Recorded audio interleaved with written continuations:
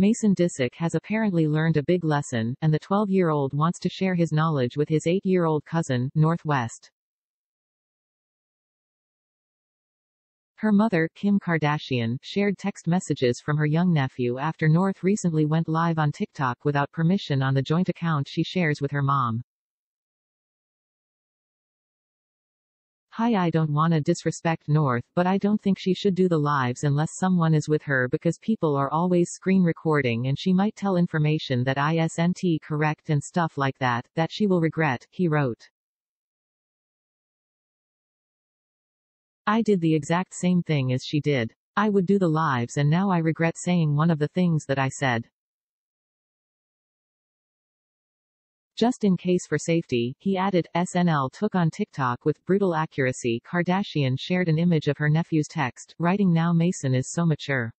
An insightful king with a crown emoji. In 2020, when Disick was 10, he got in trouble after he went live on Instagram without permission from his parents, Kourtney Kardashian and Scott Disick. The youngster's Instagram account was deleted after and her took his thoughts over to TikTok.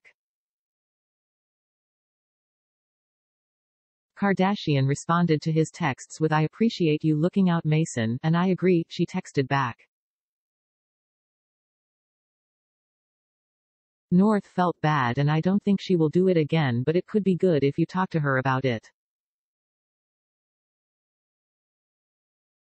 She also advised him that he may want to speak with his cousin directly.